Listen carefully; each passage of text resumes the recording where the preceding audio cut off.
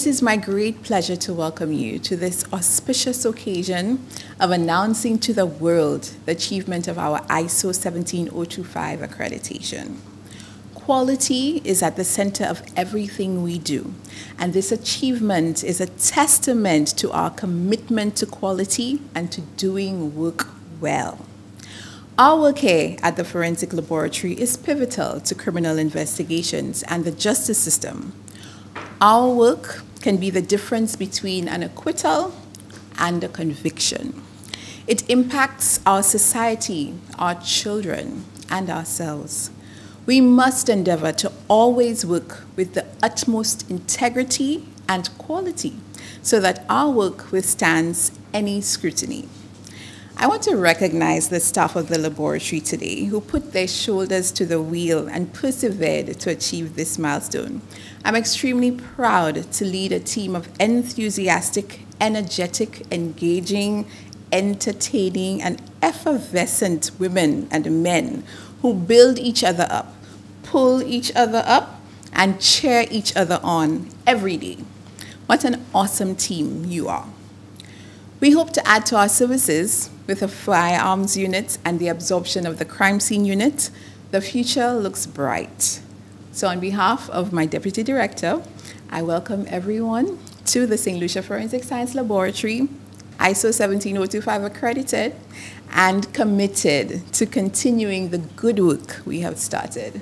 Welcome. I am pleased to announce that the St. Lucia Forensic Science Laboratory has been granted ISO IEC 17025 2017 accreditation, the standard for general requirements for the competence of testing and calibration laboratories. This makes our laboratory the only forensic laboratory within the OECS and one of two within CARICOM to achieve this milestone.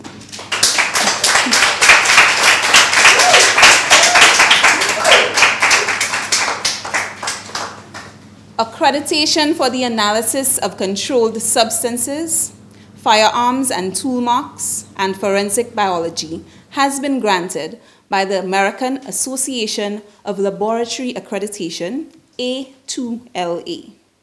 The accreditation process determines the technical competence and integrity of organizations offering testing services. This journey started in 2019 with the development and implementation of a quality management system. Although challenging, we pushed through 2020 and 2021, and we were aided by several individuals and organizations to continue with our implementation and continuous improvement. These people include Dr. Valerie Fuller, Mrs. Betty Comby, and organizations such as the St. Lucia Bureau of Standards and the Strategic Capacity Group. In March of this year, assessors of A2LA conducted an external audit to independently assess quality management system of the laboratory and our testing services. Although a laboratory does not require accreditation to operate, the ISO 17025 accreditation offers an organization a competitive advantage not only regionally, but also internationally. We, St. Lucia, are now able to compete on a global stage. Accreditation literally means giving confidence. As consumers, we want to be able to trust the quality of the products and services that we use. This accreditation assures that the justice system and the St. Lucian public that the, laboratory that the laboratory's processes and technical staff meet international best practices. As part of this accreditation, regular checks will be conducted by the accreditation body to ensure that the lab maintains its compliance. This year, we upgraded our DNA unit to include more advanced equipment and technologies to improve our DNA analysis capacity. After months of completing our required studies, the unit recently came online. Therefore, we Therefore, we are definitely going to expand our scope of accrediting, accredited testing services to include DNA analysis during our next scheduled check in March of 2023. Permit me to thank and congratulate the staff and management of the laboratory who strive to uphold our mission to provide an unbiased, ethical, quality, and scientific forensic service to St. Lucia. This job is not one for the faint hearted. It requires relentless dedication. Their daily work and passion for the cause of justice has led us to this moment. Thank you. Ladies and gentlemen, it, it, it is pleasing to be present this afternoon to hear two things. One, we have reached international standards. I always made a point that there are no St. Lucian standards. We have to have international standards, global standards. And the very fact is that the people at the forensic lab or the forensic services unit have understood that it's necessary for us to get to international standards, global standards, is something that you must be proud of, and you should, you should give yourself a round of applause. And your standards have been accepted by an, an international body. Again, you, you haven't got to measure from St. Lucia, you have to measure from the world. And the very fact that you've been accepted by an international body that will frequently check you, you will not have it and put it aside. It has to be frequently checked. And that, again, is testimony to the fact that we are getting where we need to get. I'm also pleased as Minister of Finance, I, I got a note from my press secretary that says, you can charge for your services. and in these times, anytime the Minister of Finance is about receiving money, his, his, his heart lightens. so I hope you do not do like me when I was in private practice about collect your fees. But also, it, it, on, on, on a different note, the very fact that we have, it's a fact that we have an upsurge of crime in the country. In fact, we have an upsurge of crime in the region. And it's something that when, at the last heads of government conference that I went to, we, all prime ministers, were very concerned about the upsurge of crime in this region. It looks like suddenly there's been a, a, a real ill wind of crime in, in, in the region. Why? The jury is still out. But most of that crime is gun related. And the very fact that we have the ability now in. Lucia, or soon to have the ability to do forensic testing on firearms, forensic testing on, on missiles and bullets, is something that should help us deal with the crime situation. Our criminals are always thinking, so we have to be ahead of them. And if you think that you can use the science, the criminals will use the science just as you, even better than you. So we have to be one step ahead. We have to ensure that what we do, we do it well, and then comes the other part of it, the justice system, where you have to prove somebody is somebody is innocent until proven guilty. But when you find some, but guilt only comes without any reasonable doubt. And hence the reason for the science. Because anytime there is reasonable doubt, the, the defendant goes free. So it's a situation which makes you even more important that you have to be accurate, you have to be precise and you have to use the science to the best of your ability. So I wish you luck. I'm very pleased that we are, we are reaching the stage where our lab is the only lab in the Eastern Caribbean that is certified.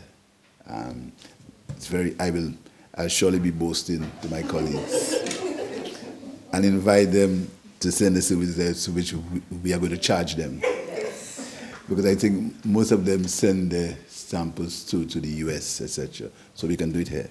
So um, I want to thank Ms. Henry and, and the staff, um, mainly ladies. It's two guys, excuse me, three guys, three gentlemen, four gentlemen. So it's kind of equal. I want to thank you for what you do. I always see when you work in law enforcement or you work in, in, in the medical field, etc., we can never pay you for what you do.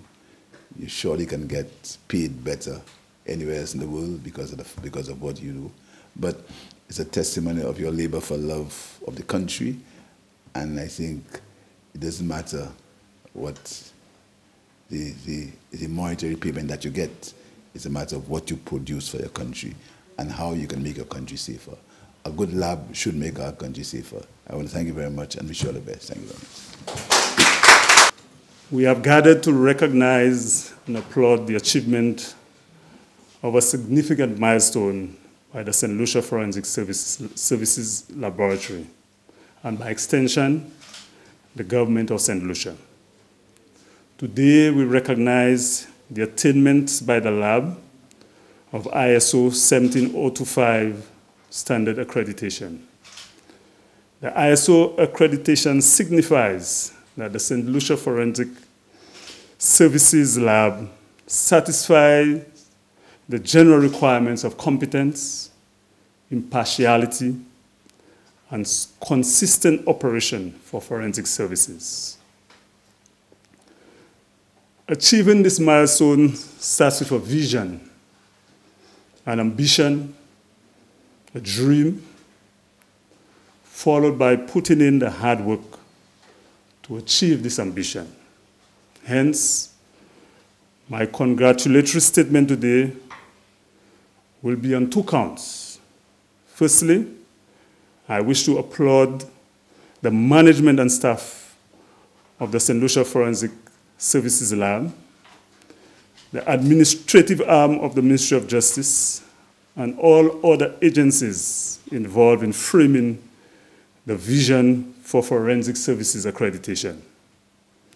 Your foresight in recognizing the need to provide forensic services at internationally accepted standards to support the St. Lucia justice dispensation process is worthy of rave reviews.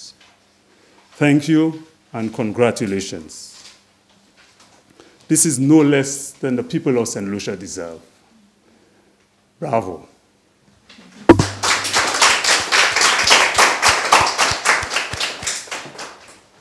Secondly, I wish, to recognize and appreciate the tireless efforts of the management and staff of the forensic lab in seeing the vision of ISO accreditation through. I know the journey was not easy. From obtaining buy-in of the dream to securing budgetary provisions necessary in this tight fiscal space to defining and implementing the structural and procedural changes necessary, to developing human capacity, and successfully overseeing the change management. You started the journey and completed it. You've made it. Mission accomplished. Congratulations.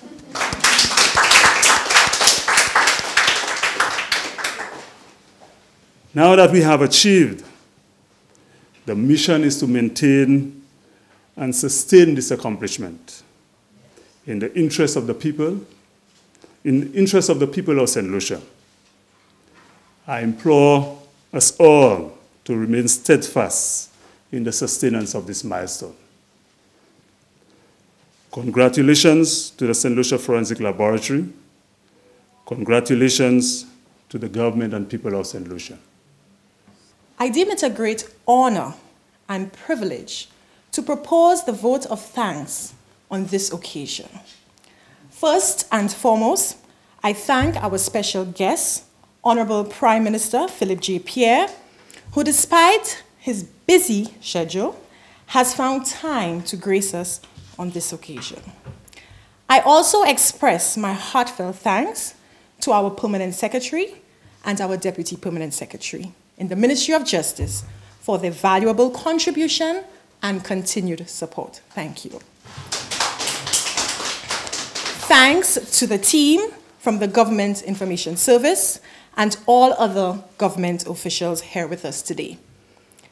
I owe special gratitude to the management, technical, and administrative staff of the St. Lucia Forensic Science Laboratory for their valuable contribution and hard work, which ensured that this occasion became a success. Once again, thank you all and good afternoon.